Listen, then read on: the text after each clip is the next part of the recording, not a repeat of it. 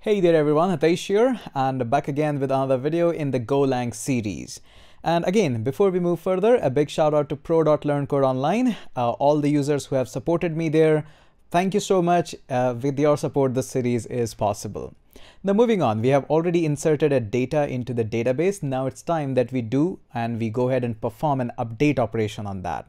So update is really simple in the MongoDB. You first have to provide a filter based on which the data is going to be filtered out, like which one should I update.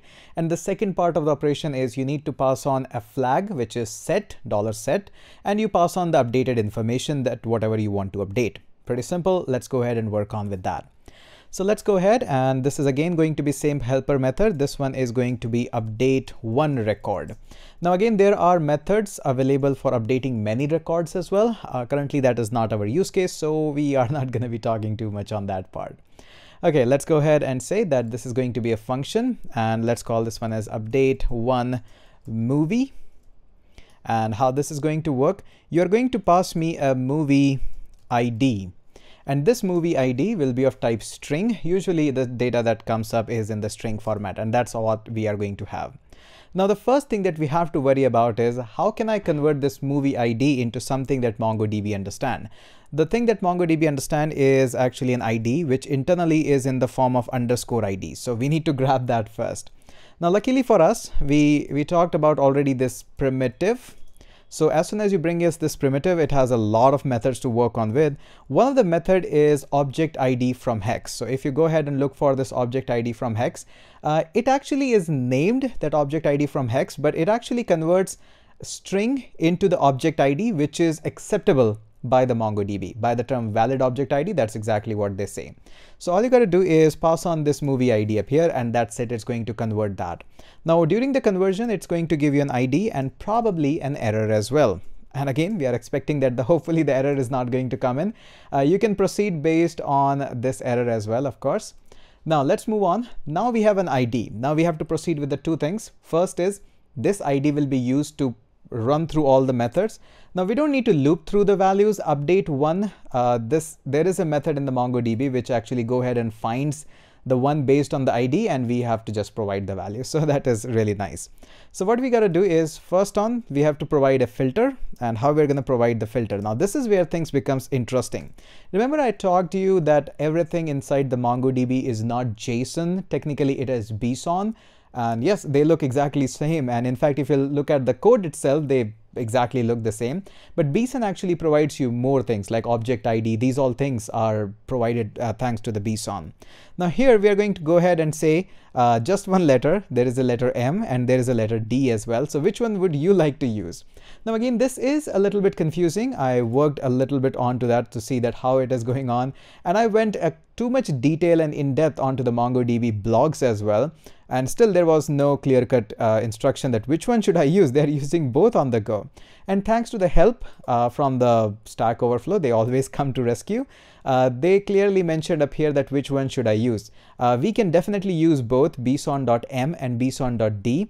The only difference is, if I go ahead and scroll a little bit, is uh, somewhere up here. So bson.m uh, is used if you want to have shorter and the clearer result and if you are not worried too much about the upper cases and lower cases. Again, you can go ahead and read a little bit on uh, bson.m versus bson.d. Uh, luckily, I found this article and this proves that I'm not the only one who got confused in that. It's, it's really one. So again, we use both of them. And again, uh, this is a clear-cut example. This what you should be doing, what you shouldn't. Majority of the cases, we will be using uh, bson.m, uh, but bson.d also have its own values when you want ordered element up here you got the idea. So let's move on. We're going to say uh, we'll be using bson.m and this is where you provide all your query parameters. So in my case, I told you that this is not ID in terms of MongoDB world, it is actually underscore ID. So we are always looking for the underscore ID. So this is my filter. This is going to be my filter that, hey, uh, go ahead and use this one to go ahead and grab an I, uh, filter for you.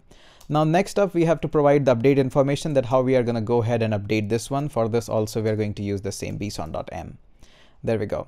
Now in this case we have to first provide a flag which is a dollar set in case you have worked with the MongoDB or have seen my series up there you are quite familiar with that.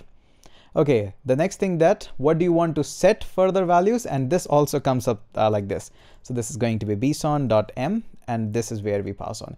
If we just go ahead and directly pass on bson.m and all these values, the values will be uh, always being inserted. We don't want to insert that, all these values, we want to update those values. So right now we're going to say that I have a property watched, which is coming up from this models watched, all lowercase, and all you got to do is turn this flag into true.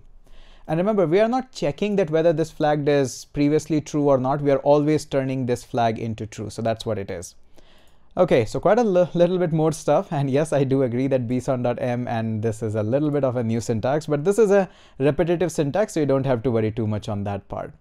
Now let's go ahead and work on with that. Now all we got to do is uh, head up to our collection, use the property which is update one, and we have update by ID as well, by the way. Update one, it requires a couple of properties or a couple of values that you have to pass on. Of course, you might have guessed that already. The first one is context.background. The second one is filter based on which it can filter the values and finally an update. There we go. Nice and easy. Once this is all being done, obviously this might give you a result or might give you an error and you have to handle both of them. Notice here we haven't handled this error up here. You should be handling that in theory. Uh, but again, I guess you can go ahead and do that. Okay, Let's proceed with caution and we are going to say if error is not equals to nil, then obviously this is a problem. Did I, did I miss something up here? Yeah, an extra L. There we go. Okay, so this is going to say that if that is the case, go ahead and log dot fatal and say error. And if that is not the case, let's go ahead and just provide. Now this result actually gives you a value that how many values are being updated. Uh, obviously, in the case of update one, we are expecting that only one value is getting updated based on that every input that we are giving is going to get a unique ID. But uh, still, I just want to go ahead and print this out. So we're going to go ahead and say modi modified count and that is going to be given to us by this result and it has matched count modified count inserted count. I have never seen that. Uh, but what we had inserted in this one is a modified count. So there we go. That's all what I want to do in this one.